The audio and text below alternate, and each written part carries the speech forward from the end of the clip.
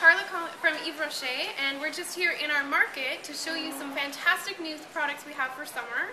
So the best part of Ottawa is fresh strawberry season. So we have our own fresh strawberry season here at Yves Rocher. So we invite you to come on in and try it out. And the best part about these strawberries is they don't go bad. You don't have to freeze them or make jam or anything. So we have a limited edition, so it's only going to be around for the summer, just like the fresh strawberries in the market. Um, so it'll be around until about September. We have a full line for you. So it comes with an eau de toilette, so a nice beautiful spray, which just smells fantastic. We have that in two sizes.